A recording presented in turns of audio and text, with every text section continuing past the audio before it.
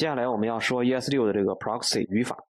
ES6 proxy 这个 proxy 就是代理的意思，那它肯定是跟代理模式有很相关、很相关的关系。正好呢，我们借助这个语法呢，我们去演示一下我们之前讲的这个明星和经纪人的这么一种案例。我觉得这个呢是代理模式的一个特别经典的一个代表。简单说，你没有权限去接触明星，但是呢，你要是想请明星来演出，那你就去找经纪人，对吧？好，我们就简单的演示一下你怎么去找经纪人，然后要到这个明星的一些信息。好，比如说我们这儿先初始化一个明星的一个对象，然后你想获取这些个人信息，那不可能，对吧？那怎么办呢？那你就用经纪人，经纪人就是这个明星的一个代理。我们这儿写了，它的语法呢是这样，是 new proxy，然后第一个参数呢，我们把这个要代理的对象传进去，然后我们可以监听它的 get 和 set，也就是说我们可以监听代理对象的这个获取属性和设置属性。你如果是想去获取手机号，这个经纪人肯定要给他自己的手机号。经纪人不可能把明星的手机号返回给你，然后呢，如果是你要获取这个 price，就是说你要抢请明星演出，那肯定是需要花钱的。但是呢，明星是搞艺术的，他不跟你谈钱，跟谁谈钱呢？就跟经纪人谈钱。所以说，经纪人上面代理的 price 这个属性，但是明星身上是没有钱味儿的哈，他没有铜臭，他不谈钱，他只搞艺术。明星的年龄和这个姓名，这个都是可以返回的，要不然大家知道你叫啥。OK，然后那个 set 的时候呢？比如说我是主办方，我要请经纪人，我可以给他 set 一个什么呢？我可以给 set 一个 custom price。你说报价是十二万，对吧？那我可不可以砍价啊？对吧？我试一下。那你可以 set 这个 custom price。当它的值小于我们这样定义的啊，当值小于十万的时候，直接报错，就直接不跟你谈；低于十万就不跟你谈。else 我们就把这个价格复制成这个 value。这个地方其实这个 else 里面这个逻辑啊，和真实的场景可能不会太一样，但是呢。我们也没有必要深究说这个经纪人怎么工作的，对吧？我们也不用管。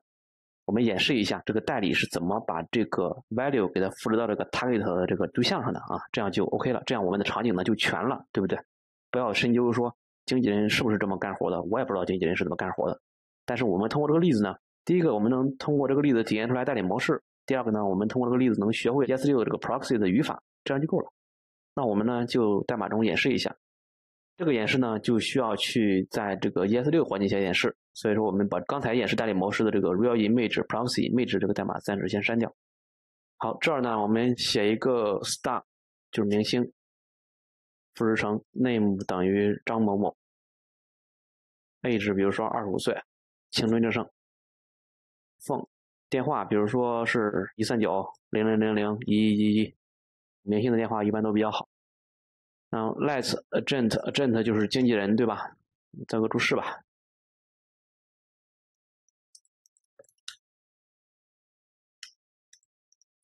经纪人，经纪人等于 new proxy。然后第一个参数，我们需要把这个要代理的对象传进去，就这个 star 这个对象传进去。然后里面我们要定义这个 get 和 set 两个方法。Get 获取的参数呢是 target 和 k，因为它只是 get。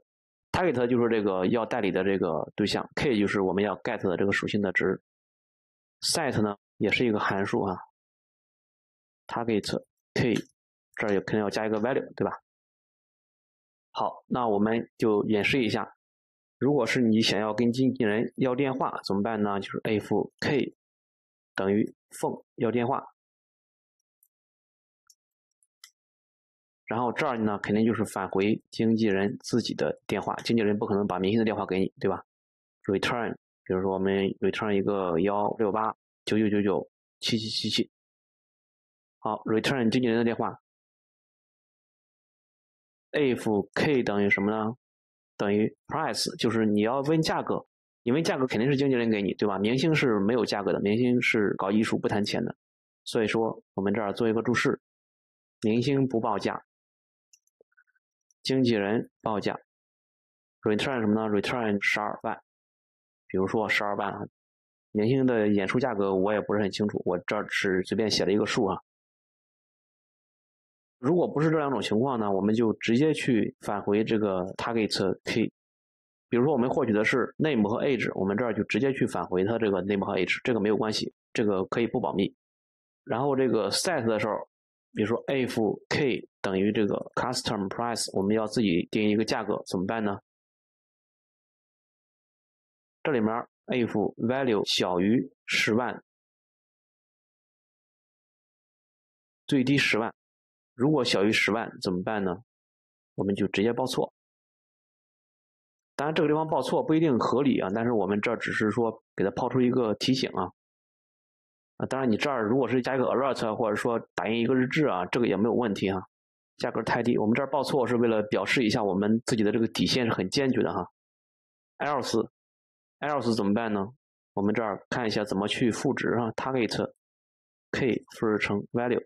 另外呢，这儿要写一个 return true，要不然的话它不会复制成功。我们这儿写完了，就明星经纪人写完了，我们做一个演示哈。现在主办方要和经纪人联系了，怎么办呢？就是 console log agent 点 name，我们获取这个姓名，然后呢获取年龄，然后呢获取电话，电话我们看看获取的到底是谁的哈。啊，我们这儿为了分清楚啊，这个号码不好分，我们就直接这么写啊。这样的话就分清楚这电话到底是明星还是经纪人的。接下来我们要获取报价，age 写错了，我们现在写到这儿，我们先去保存一下。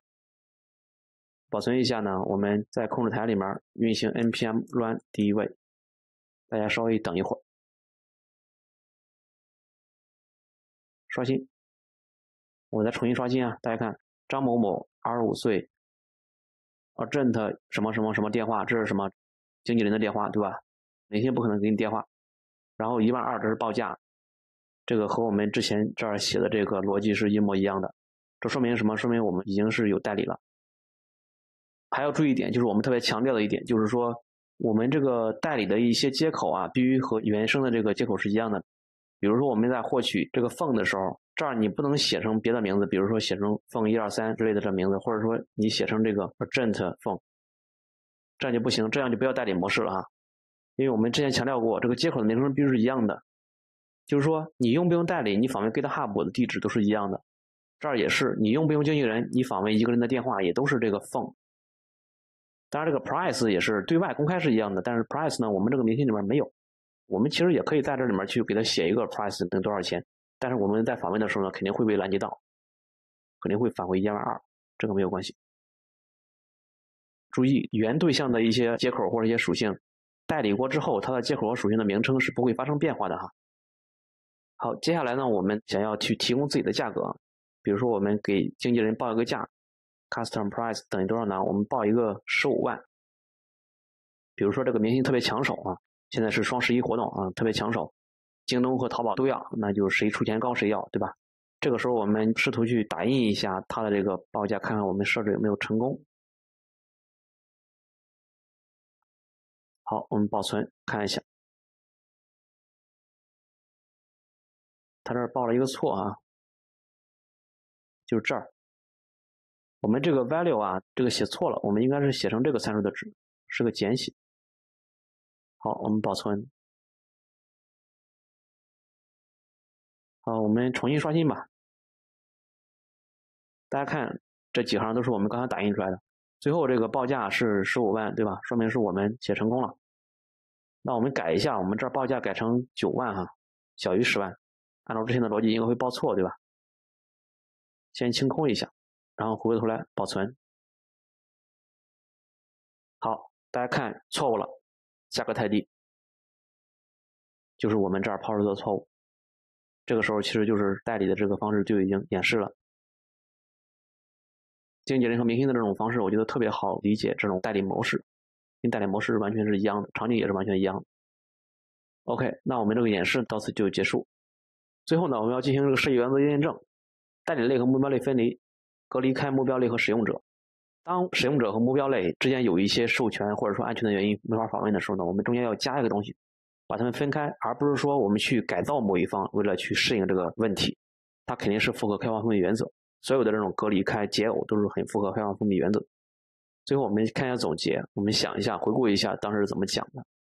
介绍和示例，介绍代理模式呢，它的用意是说，使用者再去访问目标类的时候呢，受限于一些权限或者安全的问题，我们没法直接去访问。这样的话呢，就需要中间加一个代理，通过代理来去访问。比如说我们在家办公访问公司的内网没法访问，也可以用代理来访问。